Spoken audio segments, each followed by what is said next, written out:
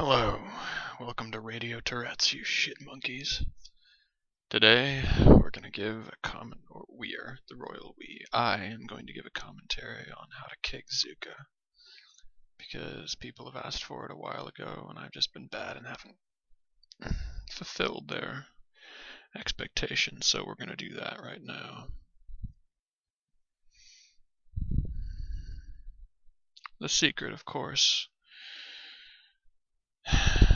The secret to Kegzooka is finding the appropriate distance between keg and rocket. And to this end, pretty much any surface will do. Occasionally, you will not have time to fire the rocket. That's okay. That's what your guns are for. So, here's how you do it.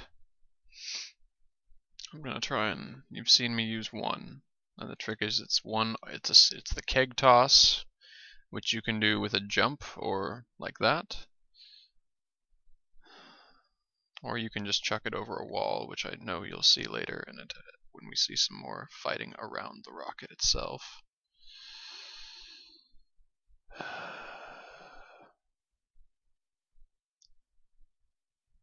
Lucky bitch.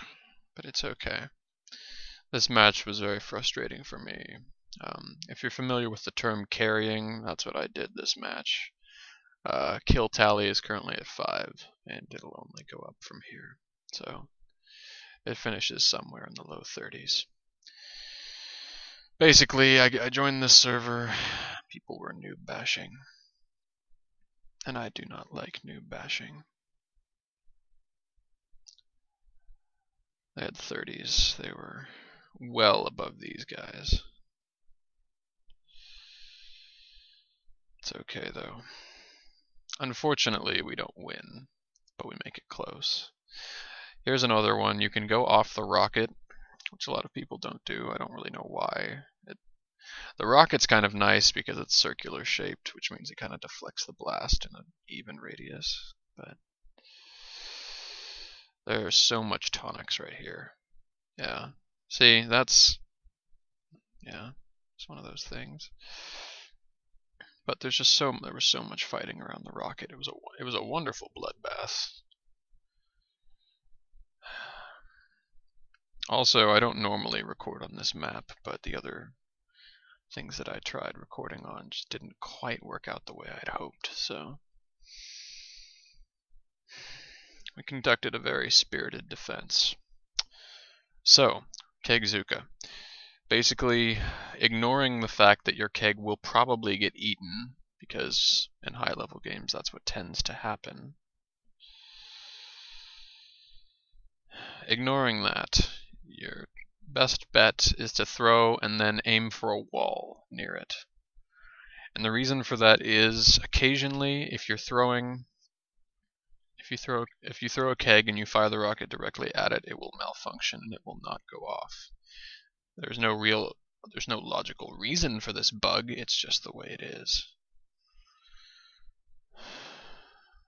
So, with that in mind, the best bet is a wall, since walls will also deflect your blast in a circ. In a, I talked about the rocket de deflecting it in some sort of a circular radius, while walls will do it in kind of a flat, square radius, which is good when you're trying to detonate one of the detonate one of your baby kegs. Now, this keg, I want to say this is level five keg, but I'm not positive. So, obviously, it's not gonna you're going to be able to do this regardless of what level keg it is, but your effectiveness will will uh, it won't diminish at all. I should also mention that doing the Kegzooka is does not diminish damage at all from you know the keg going off without you hitting it with a rocket. So some people believe that. I'm going to crush that urban myth. That's bollocks. That's not how it's supposed to be. Or pardon me, that's not how it actually is. Oh gosh, these people. I got maybe five rocket caps in the space of maybe a minute. It's ridiculous.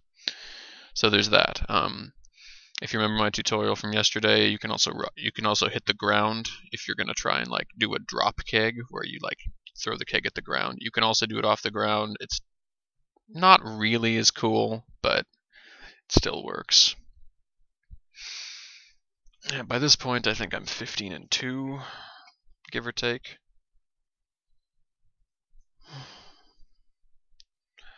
So, yeah. Um, unfortunately, this game, I think we should have won, but the other team, there was a lot of widget spam. There was a lot of low, there was quite, I, my team had a lot of low levels, which is annoying, but you know, it's what happens sometimes.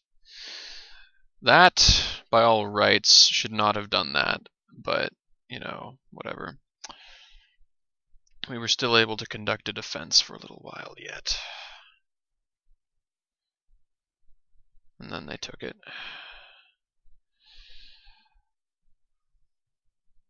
Yeah. The rocket, the tail fins of the rocket are, are very strange when trying to deflect things off of it, so don't aim for that, aim for the body of the rocket. It'll also hopefully push it down. there was so much grenade spamming.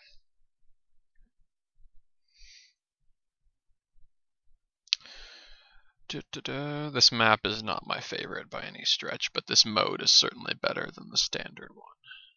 It really should have two rockets though. Okay, there's a long one, and then I angled it.